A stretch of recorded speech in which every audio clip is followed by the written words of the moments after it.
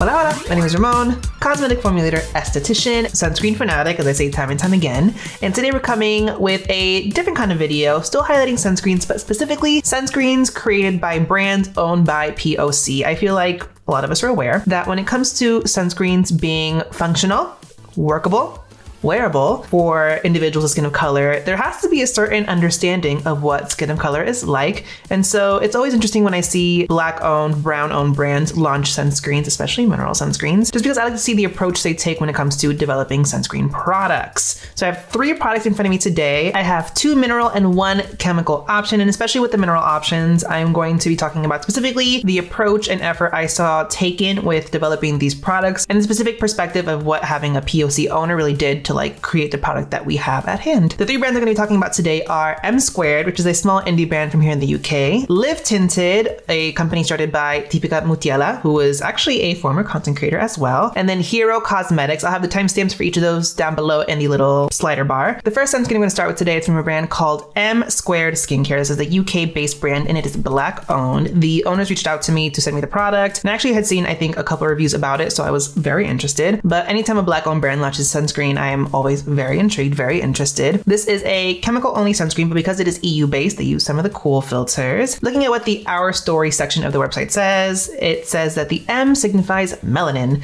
and the squared signifies squared, which defines the two active ingredients our product provides. What those active ingredients are, not entirely sure. But again, they want to promote like the beauty of melanin and having rich skin and like really like protecting and nurturing that skin. The product specifically is alcohol, fragrance, and essential oil free. It is 22 pounds for 100 ml mil. Generous, generous size. And essentially it's like an ultra sheer, ultra lightweight chemical sunscreen that's best for all skin types, but specifically this is like beautiful for oily skin. You can see all the application footage. It comes out, it's a pure gel sunscreen. It's a beautiful lightweight texture. It works into the skin amazingly. It sets in super quick, obviously has no white cast, and it preps the skin beautifully for makeup on top. You can see the makeup just sets beautifully. My skin just looks very fresh, very, very natural finish. It's not too matte, it's not too radiant, it's right in the middle. And what I really appreciate about this is the fact that the texture is so lightweight this gives me like Korean sunscreen teas. You can prep your skin with this, have makeup on top, and then you can reapply with this very, very easily. And plus, the generous size is really good at encouraging that reapplication. Again, it's 22 pounds for 100 mil. They did give me a discount code, Ramon15. I'll have it on screen. If you do want to cop this, I don't know if they ship internationally.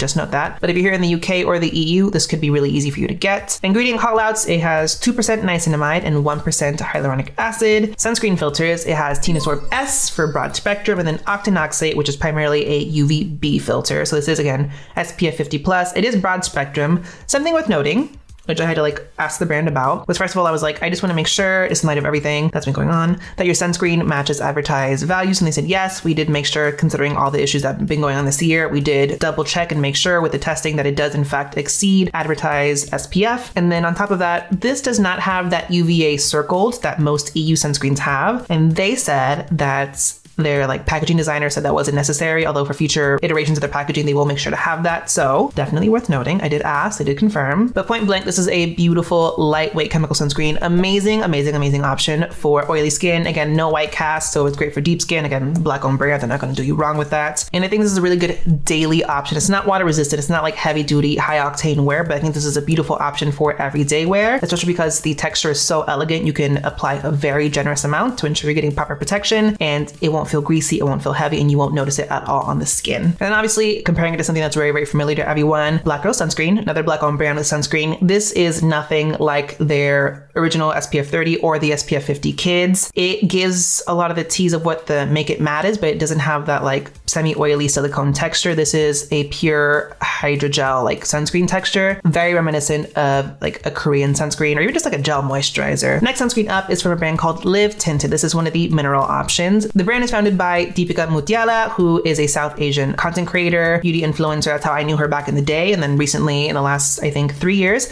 she launched her brand, Live Tinted. They're known for their multi-hue sticks, which are like really cool, like pigmented, like multi-purpose sticks. But then she launched a mineral sunscreen. And in the same line of the like hue sticks, this is a multi-purpose product. It's intended to moisturize, protect, and prime the skin for makeup. Specifically, I think what's the most interesting thing about this, and like at the fact that Deepica is a South Asian woman, she has deeper skin than I do. This is a tinted sunscreen unlike any tinted sunscreen I've ever seen before because the tint is pure yellow. Looking at some of the claims of the product though, it's a daily mineral sunscreen, again, SPF 30, so daily sunscreen. It's uh, a moisturizer primer in one. I find the texture for this is a little bit more like a gel moisturizer. It's not very, very rich in moisturizing, so you might want to pair this with another moisturizer if you have more dry skin. As an oily skin individual, this is a dream for makeup prep. And specifically, this offers obviously broad spectrum protection, but also with the iron oxides in the tint, it does help to offer some high energy visible light protection aka blue light, which specifically for skin of color is something that you want to potentially look at, especially if pigmentation related issues are a concern for you. This does retail for $32 for only 50 mil, so it's definitely on that like higher end of the spectrum. Looking at some of the formulation points, this is 18% non-nano zinc. I'll also come back to that. And again, as I mentioned, it has the iron oxide in it, but also beta carotene. And while they don't mention beta carotene being a colorant, if you don't know, beta carotene in itself is something that is very pigmented. It's like this semi like very orange to kind of yellow depending depending on how concentrated it is in a product. So in my mind, that might have something to do with the coloring of this, just because I don't actually know what other things beta carotene really contributes to formulations necessarily. I mentioned lightly hydrating and moisturizing. It's not a super rich texture, but it does offer some of those benefits to it. Having oily skin, I can use this as is and it's perfectly fine for me. What I will say about the tone, again, this is a brightly yellow color. As you see on application, I take the product, pump it out, you get that yellow.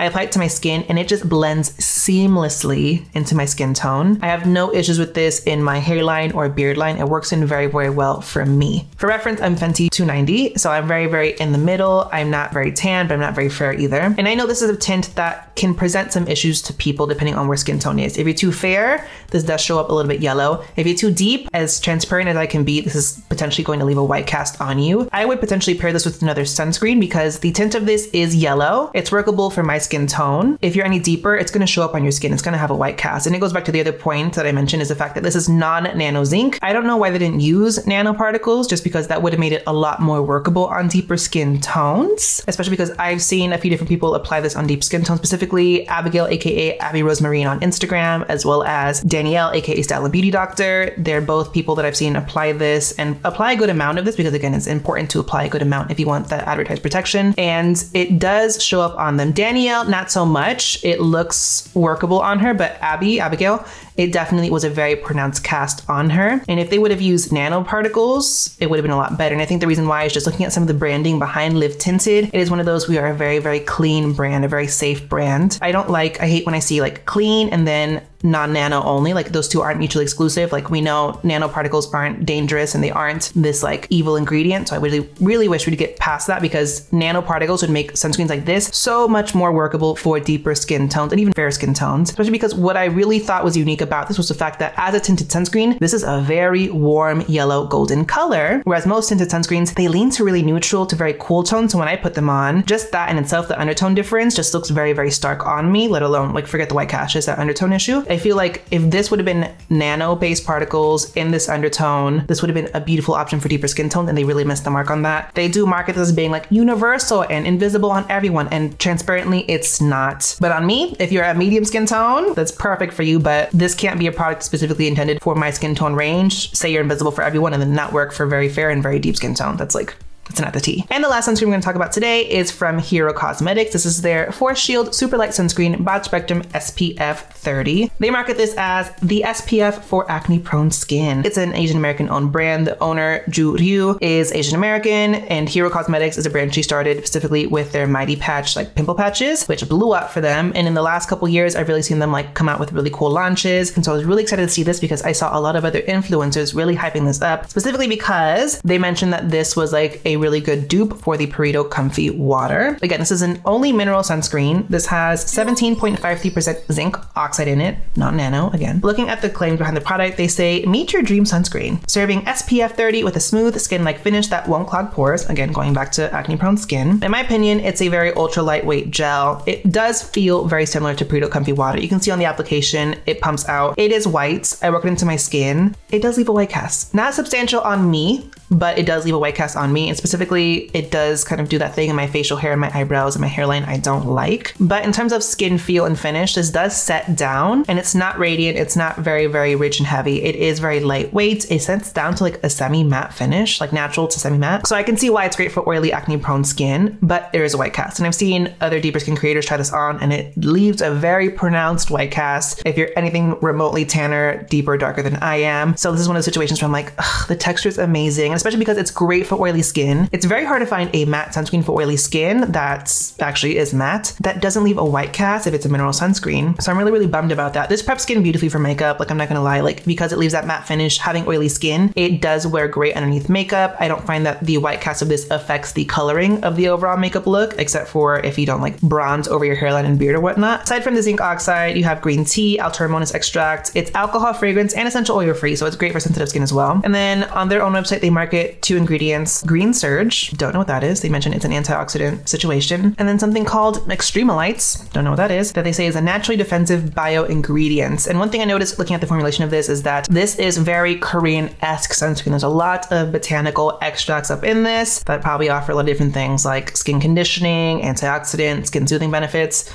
But I looked at the ingredients list and I was like, this looks like a Korean sunscreen. And so that also sparked up the whole Purito Comfy Water thing in my head. If you were, if you like prep your skin adequately for this, maybe like moisturize really well and work this on, this might do well for you if you're about my skin tone. But basically anything from me darker, I haven't seen great results with. I wish this was maybe tinted or maybe did use nano zinc as well. But the finish is nice if you're gonna wear makeup on it. So, so with that, that is a review of some POC brand created sunscreens. Again, when it comes to seeing sunscreen development, having a POC owner definitely brings a different perspective into how the product is developed because there's different intention with what you want the product to do and who you want it to work for. Again, the M squared one, hands down my favorite, black owned brand that really did a beautiful, elegant, oily skin friendly gel texture sunscreen. Very affordable if you're here in the UK. And then Live Tinted, if they had just done some nano zinc up in this, could have been a much better situation. I was really disappointed seeing how it looked on deeper skin tones and seeing the results that they got. You can't say it's universal for everyone